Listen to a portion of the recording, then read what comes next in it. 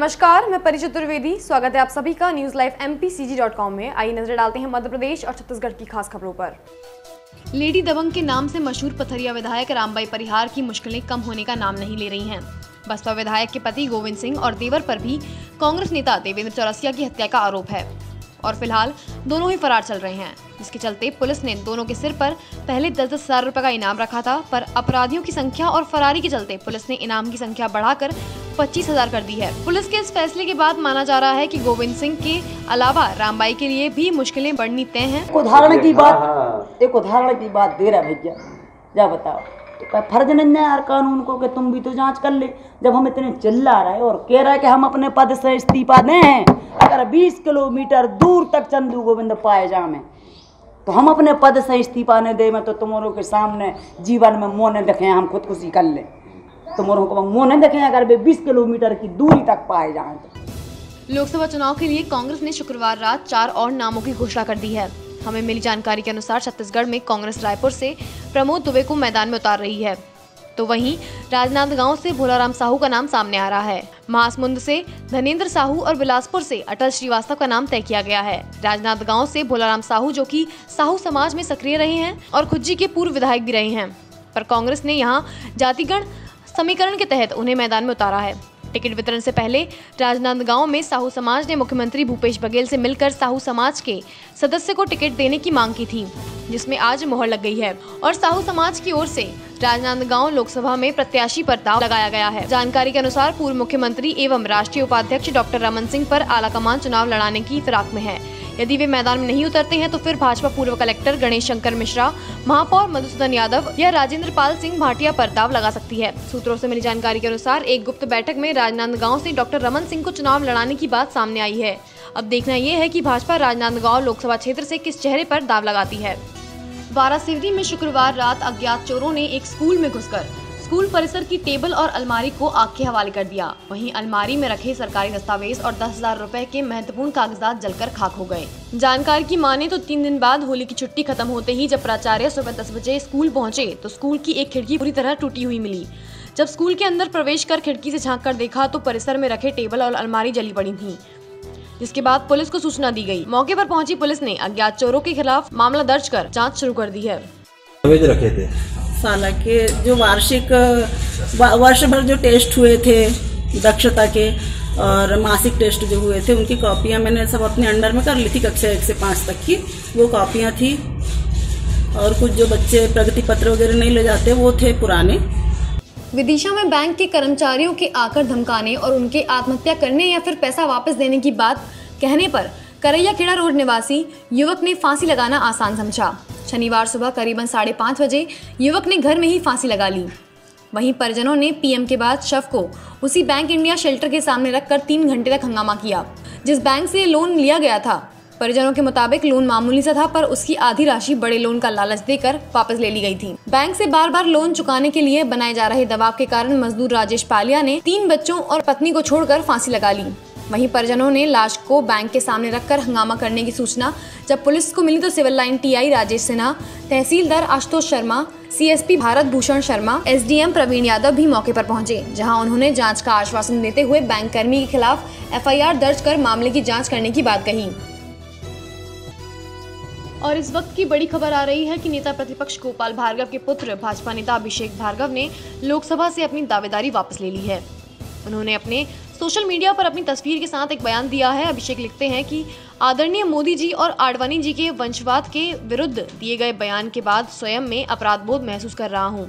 इतने बड़े संकल्प को लेकर पार्टी राष्ट्रहित में एक युद्ध लड़ रही है और सिर्फ़ अपने व्यक्तिगत स्वार्थ के लिए उस संकल्प की सिद्धि के रास्ते में रुकावट बनूं, यह भारतीय जनता पार्टी का कार्यकर्ता होने के नाते मेरा स्वाभिमान मुझे इजाज़त नहीं देता।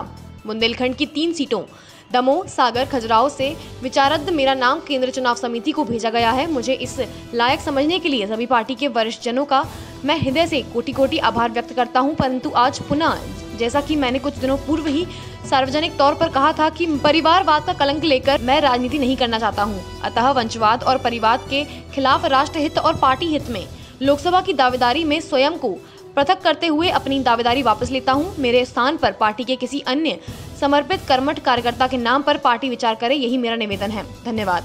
इस बयान के बाद यह तय हो गया है कि अभिषेक भार्गव अब लोकसभा की दौड़ से बाहर हैं। साथ ही अब दमोह से प्रहलाद पटेल की लोकसभा में दावेदारी की खबर आ रही है। वहीं सागर की सीट को अभी होल्ड पर रखा हुआ है। लोकसभा के लिए जैसे ही कांग्रेस के नाम जारी हुए तो लोगों की नज़र बिलासपुर की लॉ सीट पर टिक गई। बिलासपुर में इस बार कांग्रेस ने अटल श्रीवास्तव को मौका दिया है। अटल पिछले अटल पिछले दो विधानसभा चुनाव में भी टिकट की मांग कर चुके हैं। लेकिन पहली बार पार्टी ने लोकसभा चुनाव के लिए उनके नाम पर मोहर लगाई है। अटल श्रीवास्तव ने इंजीनियरिंग की पढ़ाई की है और छात्र जीवन से ही उनका झुकाव कांग्रेस पार्टी की तरफ़ था। अटल अपने शुरुआती दौर में यूथ कांग्रेस से जुड़े और बिलासपुर जिला कांग्रेस कमेटी के 10 सालों तक महामंत्री रहे हैं। साथ ही पिछले तीन सालों से अधिक समय से प्रदेश कांग्रेस कमेटी में महामंत्री के पद को निभा रहे हैं। अटल बी आर यादव और कांग्रेस के धाकड़ नेता अर्जुन सिंह की राजनीति से प्रभावित हैं। और सीएम भूपेश बघेल के बेहद करीबी माने जाते हैं। अटल श्रीवास्तव के पिता हॉर्टिकल्चर विभाग में एग्जीक्यूटिव इंजीनियर के पद पर हैं। बिलासपुर लॉ सीट के लिए कांग्रेस पार्टी ने अटल श्रीवास्तव के अलावा विजय पांडे व कुछ अन्य नेताओं के नाम को भी प्रमुखता से उछाला जा रहा था लेकिन आखिरकार अटल पर ही भरोसा जताया गया। बीते विधानसभा में बिलासपुर से टिकट न मिलने की स्थिति में अटल खेमे के लोगों ने खासी नाराज़गी जताई थी जिसकी क्षतिपूर्ति के रूप में लोकसभा चुनाव को अब देखा जा रहा है। साथ मिलकर आपके इन मुद्दों को देखिए मैं माननीय राहुल हमारे राष्ट्रीय अध्यक्ष राहुल गांधी जी और हमारे प्रदेश के अध्यक्ष और मुख्यमंत्री माननीय भूपेश बघेल जी को धन्यवाद देता हूँ कि मैं कांग्रेस का आम कार्यकर्ता हूँ। मेरी कोई पारिवारिक, राजनीतिक पृष्ठभूमि नहीं रही है। मैं तीस साल से कांग्रेस के कार्यकर्ता के रूप में विभिन्न संगठनों के पदों पर काम किया था। आज उन्होंने एक छोटे से कार्यकर्ता को इस पद के लायक समझा, इसलिए मैं उनको बहुत बहुत धन्यवाद देता हूँ। और मैं मेरी जितनी भी ताकत होगी, मैं अपने संगठन के लिए, अपने कांग्रेस पार्टी के लिए काम करता रहूँ। लाड़कुई में आदिवासियों ने होली के अगले दिन धूमधाम से त्यौहार मनाया, जिसमें गौड़ समाज के आदिवासियों ने मेघनाथ बाबा की पूजा अर्चना की, जानकारी की माने। तो यह त्यौहार आदिवासियों ने मेघनाथ बाबा से किसी आपत्ति या परेशानी के समय मानी गई मान्यता और उस मन्नत को पूरा होने पर आदिवासी गौड़ समाज मेघनाथ बाबा की पूजा करता है।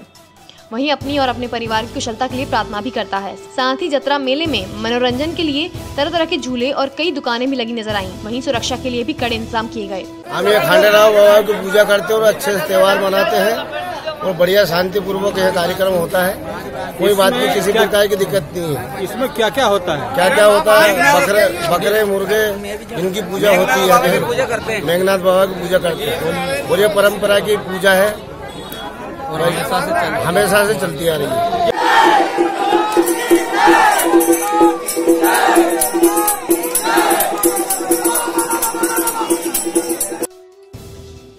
और एक ताजे घटनाक्रम में जानकारी लगी है कि छिंदवाड़ा की अमरवाड़ा विधानसभा सीट से गोंडवाना गणतंत्र पार्टी के विधायक रह चुके मनमोहन साय भट्टी अब भाजपा की ओर से छिंदवाड़ा लोकसभा के उम्मीदवार होंगे। शनिवार को इसकी घोषणा भी हो सकती है। सूत्रों की माने तो बट्टी भाजपा में शामिल होकर छिंदवाड़ा लोकसभा चुनाव लड़ेंगे। मनोहन साहब बट्टी छिंदवाड़ा ही नहीं, बल्कि मध्य प्रदेश के आदिवासी इलाकों में काफ़ी पॉपुलर नेता हैं और गोंडवाना गणतंत्र पार्टी के टिकट पर चुनाव लड़ सकते हैं। बल्कि 2018 के विधानसभा चुनावों में अमरवाड़ा विधानसभा सीट से बीजेपी के कैंडिडेट को पछाड़कर दूसरे नंबर पर भी रहे थे। जानकारों का कहना है कि मनमोहन साहबट्टी को उम्मीदवार बनाकर भाजपा ने कांग्रेस के सामने तगड़ा दाव खेला है। छिंदवाड़ा आदिवासी बहुल इलाका है और अगर मनमोहन साहबट्टी का वोट बैंक और बीजेपी का अपना जनाधार जुड़ जाएगा तो नकुल नाथ को हराने में कोई मुश्किल नहीं होगी। वरिष्ठ कांग्रेसी नेता दिग्विजय सिंह को मध्य प्रदेश की कठिन सीट से लड़ाने का अनुरोध करने वाले कमलनाथ ने अब भोपाल सीट से दिग्विजय सिंह को लड़ाने की बात कही है। भोपाल में पत्रकारों से अनौपचारिक चर्चा में कमलनाथ ने कहा कि दिग्विजय सिंह भोपाल से उम्मीदवार होंगे। आपको बता दें कि भोपाल सीट भाजपा का गढ़ मानी जाती है और काफ़ी अरसे से कांग्रेस यहाँ से जीत के लिए तरस रही है।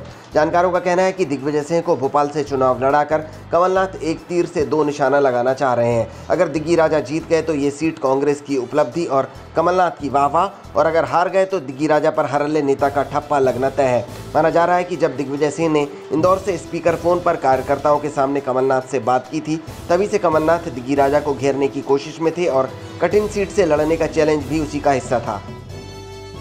दिग्विजय सिंह अक्सर राष्ट्रीय स्वयंसेवक संघ और हिंदूवादी संगठनों के खिलाफ बयानबाजी करते रहते हैं। इसी कारण से दिग्विजय सिंह की अक्सर हिंदू विरोधी छवि बन जाती है।